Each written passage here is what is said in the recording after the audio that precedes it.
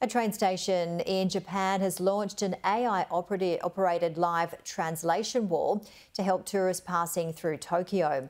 The special screen can instantly translate a conversation between the ticket agent and the buyer in multiple languages. At Tokyo's busy Seibu Shinjuku station, it's a steady surge of trains, travelers, and at times the need for translation. I was actually really nervous coming because I, I heard people here don't speak English.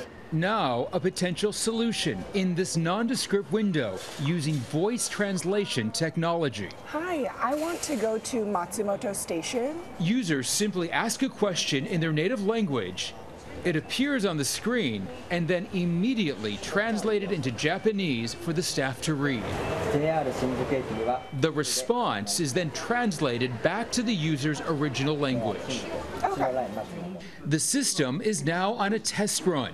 We asked travelers, including Fatima Horcher, to try it out. And you thought the translation was pretty spot on? Spot on. Spot on. It's exactly what I said was on the screen. How many languages can this system translate? 12カ国語に対応しています。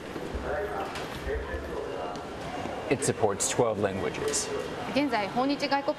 We're told the number of foreign visitors to Japan is growing.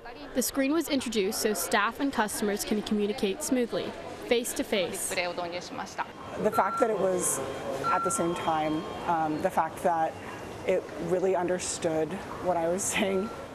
while the system isn't always perfect, this technology is quickly improving.